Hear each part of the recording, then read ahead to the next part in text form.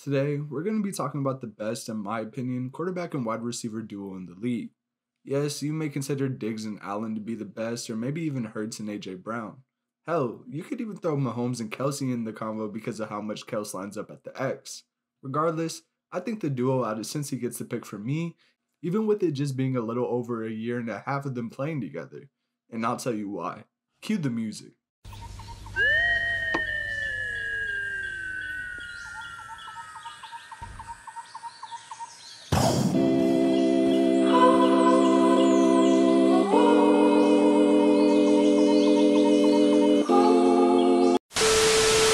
Before Joe Burrow was winning the NCAA championship in 2019 or finishing runner up in the last year's Super Bowl, he was a small town prospect out of Ames, Iowa, born to parents Robin and Jim Burrow.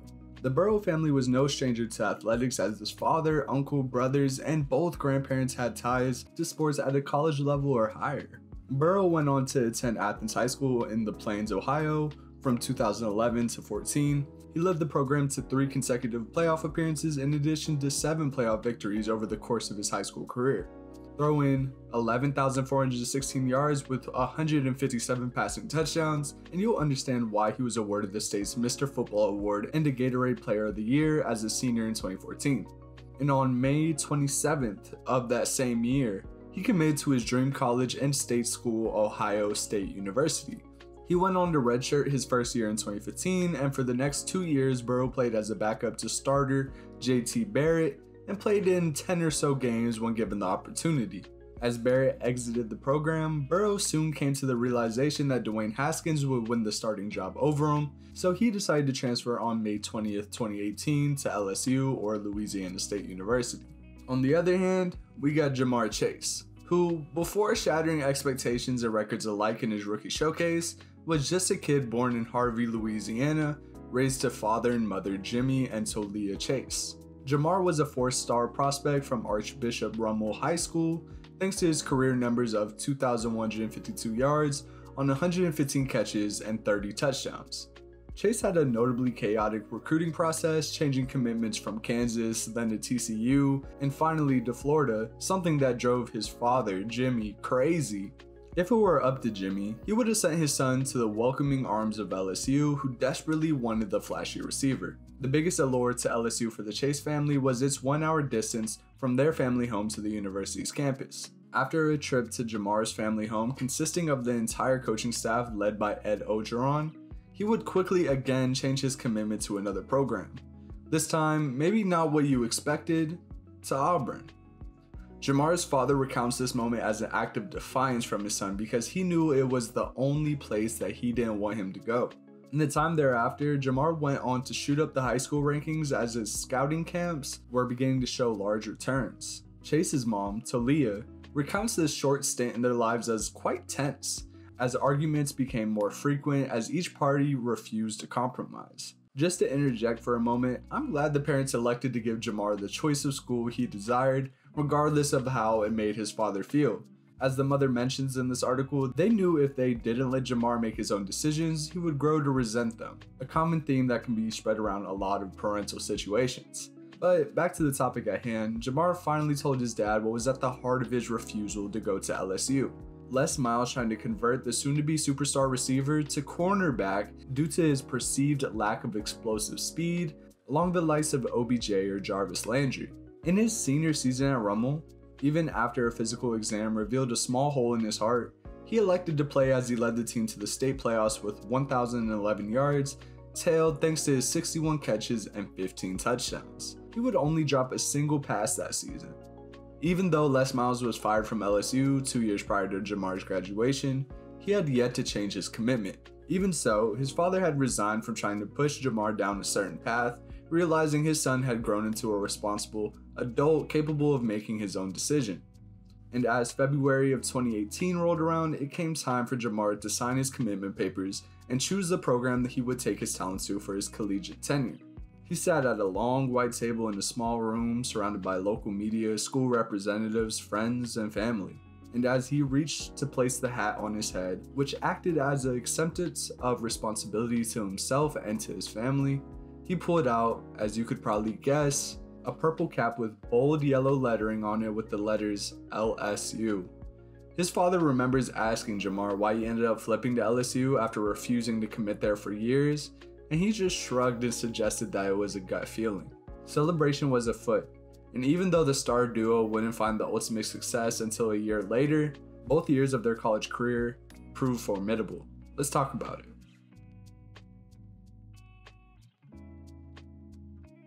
While Burrow and Chase arrived in Louisiana State in 2018, they still had a favorable year, albeit not holding a candle to the one they'd have together in 2019. Instead, Burrow and Chase led the top 25 ranked Tigers to a 10 3 record, including a win over UCF in the Fiesta Bowl. Burrow's numbers in his year one stint with LSU came out to 2,894 yards in the air, 16 touchdowns, and 5 interceptions. Tack on 7 rushing touchdowns to that total as well. For Chase, he finished his true freshman season with 23 receptions for 313 yards and 3 touchdowns. Other notable games from the pair include the unforgettable 74 72 defeat at the hands of Texas A&M, a 36-16 win over number 7 ranked Georgia, and a brutal 29 0 loss to Alabama that served as a staunch reminder that they weren't quite ready to win it all yet. As 2019 rolled around, LSU was a bubbling team in the SEC, but the college football world was nowhere near prepared for the tear this Ed Orgeron led team was about to go on. In their first matchup, the pair went up against Georgia Southern as the Tigers defeated them by an incredible 52 points. Burrow had an efficient 278 yards on a 85.2% completion rate with 5 touchdowns, one being to Chase as he racked up 2 receptions on 21 yards. The duo followed that performance up on the road against 9th ranked Texas as Burrow tallied 471 yards, 4 touchdowns, and 1 interception in the 45 38 win. This was the week Chase jumped on the scene as well, albeit alongside another star you've likely heard of, Justin Jefferson, who racked up 163 yards and 3 touchdowns in the bout. But for Ja'Marr, he put up 147 yards on his 8 catches in the victory. Now, Teams are beginning to realize LSU is a real threat, but by that time, it was just too late. In the next six matchups, the Tigers defeated each of their opponents by an average of 25.8 points per game, bringing them to an 8 0 record as their rematch against Alabama neared. At the time, LSU and Bama were ranked 1 and 2 respectively. But regardless of ranking, everyone knew this game would be a dogfight, Burrow and Chase included. In the 46 41 5 point victory, Burrow maintained his excellence through the matchup as he put up a virtuoso performance of 31 of 39 for 393 yards and 3 touchdowns. Chase would also choose the perfect time to have likely his best game of the season after he dropped 140 yards on 6 catches and a touchdown against the Crimson Tide. No other team came even remotely close to taking down the White Hot Tigers thereafter including their postseason games against Georgia, Oklahoma, and the college football championship versus last year's winners, Clemson. And again, the Joe Burrow and Ja'Marr Chase combination proved to be too lethal for even the best defenses to stop. Ja'Marr was responsible for 221 of Burrow's 463 yards, along with two of his five TDs. Additionally, Burrow threw for no interceptions in the bout, leading to the team's 42 25 championship victory over the other Tigers, that being Clemson. Burrow finished the season with totals of 60 TDs, 5,671 yards passing, and an average passer rating of 202. All those numbers were either school records or NCAA ones, but most have been tied or succeeded by now. To wrap up this section, just know that an offense led by Joe Burrow and Ja'Marr Chase likely culminated in the greatest force college football has ever seen, as reported by several notable sports writers. And with Burrow and Jefferson exiting the program at the pinnacle of the college football world, Chase had an intriguing dilemma he would have to deal with for his junior showcase, which we'll begin to touch on in our next segment.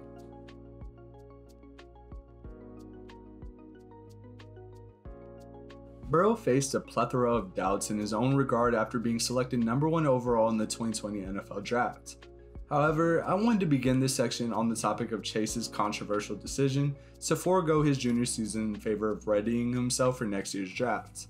This type of thing has become increasingly more commonplace as we see prominent stars in college football sit out of bowl games and whatnot in order to preserve their draft stock. However, this situation represents one of the more extreme versions of that scenario, as Ja'Marr chose to sit out the 2020 football season, not due to the COVID 19 pandemic, but reportedly rather because his agents convinced him to preserve his health and thus his draft stock for the 2021 NFL Draft. This decision was not a popular one to say the least, with some of the angry mob being disappointed LSU fans and others worried about what type of precedent this sets for other big names of college football.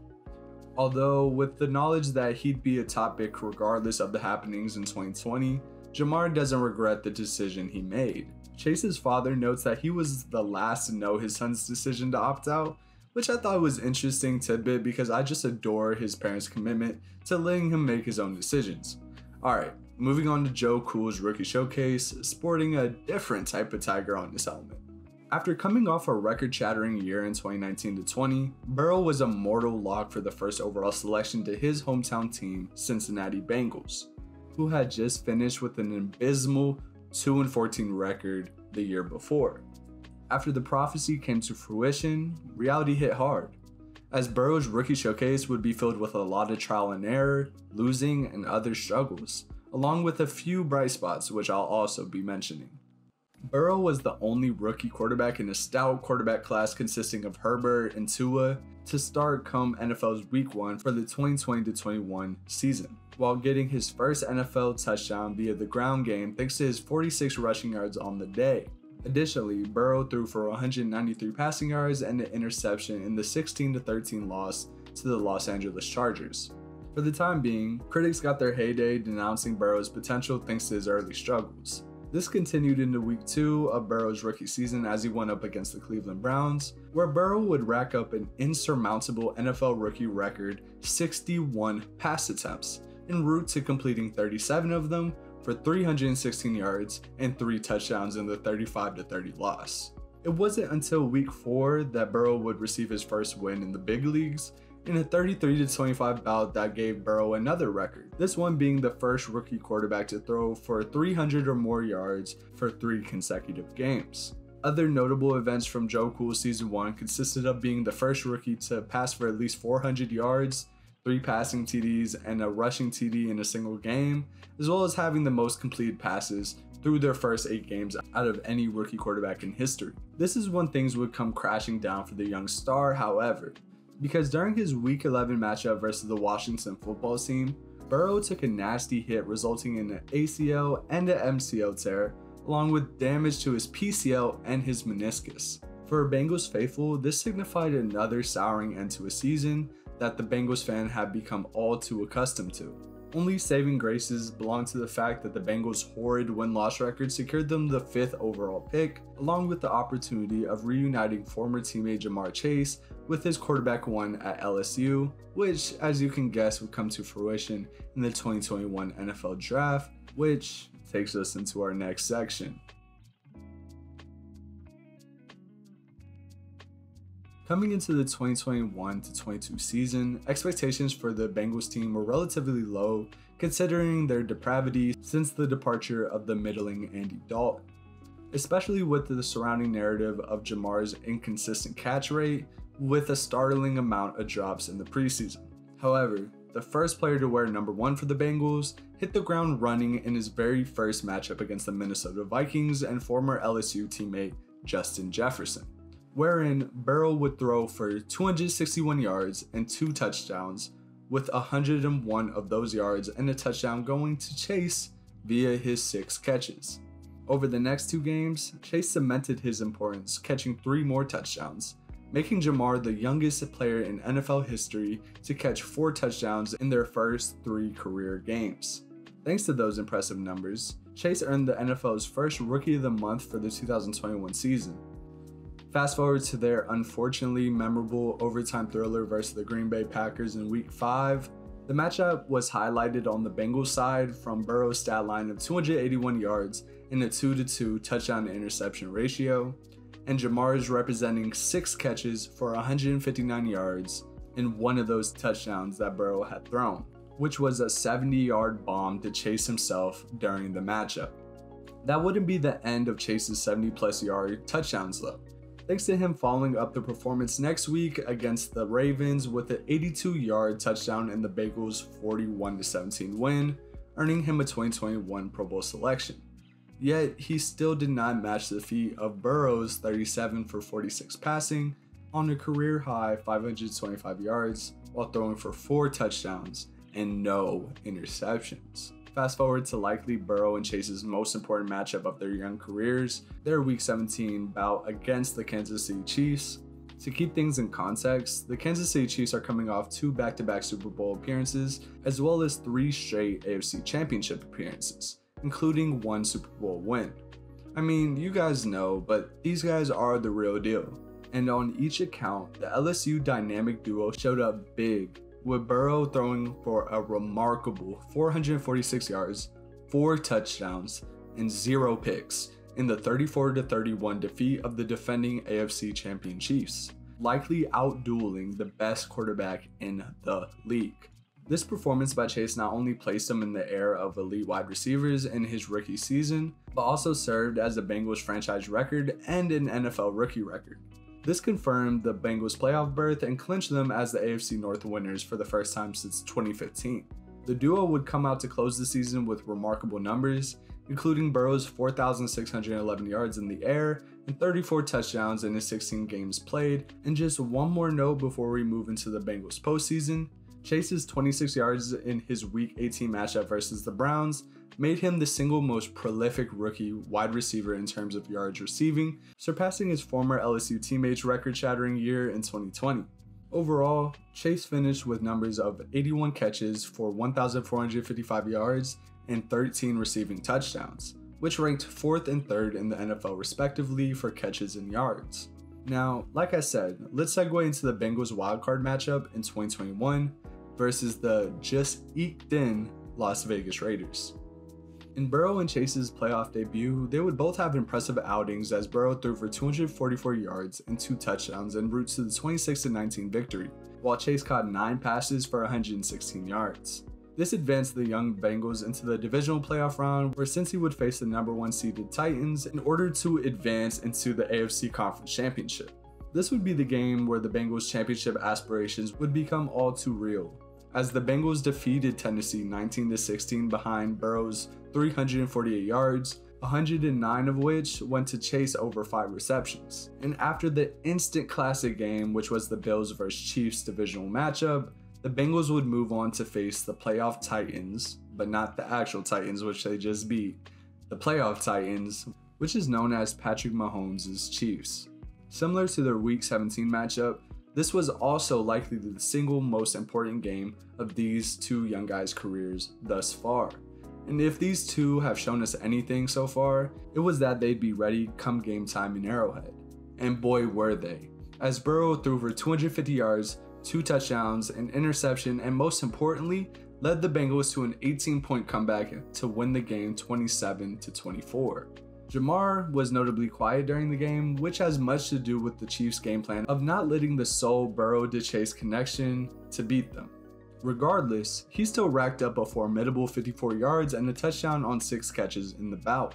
While this was the single most monumental win of these two young stars' careers, it's not crazy to say that this was the Bengals Super Bowl in a way, and these young guys weren't prepared for the mildly quick turnaround to face the NFC champion Rams in two weeks' time. Regardless, this was a call for celebration, as the win marked the Bengals' first time in the Super Bowl since the 1988 team, a full 32 year wait. Heading into the championship game, many parties still favored the Rams in the matchup, but this wasn't a big deal for Burrow and Chase. Since the beginning of both of these guys' life, they've been doubted. Whether it be from Burrow sitting the bench for three years at Ohio State or Chase having to deal with Coach Miles trying to change his position to DB for speed concerns, these two thrive on proving the doubters wrong. So, heading into Super Bowl Sunday, the plan was just that. The main concern for Cincy was their struggling O line and how it would not be able to hold up against the ferocious Rams front seven that consisted the likes of Aaron Donald, Leonard Floyd, Von Miller, and more. And right out the gate, the problem was glaring, leading to an early lead for the Rams. It wasn't until Stafford decided to put the ball in harm's way, as he usually inevitably does, by throwing a pick at the end of the second quarter. Burrow and the Bengals were able to ride this momentum into the second half, resulting in a bomb of a touchdown to Tee Higgins, making the score 20 13 Bengals lead and unfortunately for the inexperienced Bengals squad, they allowed a game winning drive from the Rams' two minute drill to give up a lead and make the score 23 20. Chase, while admittedly not a huge factor in the game, being responsible for 89 yards on 5 catches and no TDs, was itching for an opportunity to put the game away for Cincy as the clock continued to tick. And in the final play of the Bengals' comeback opportunity, their biggest problem and the Rams' biggest strength came to light in the biggest of ways. As Burrow was slung down after a pocket collapse, game over. The once top of the world LSU Tiger duo now faced the other side of victory defeat.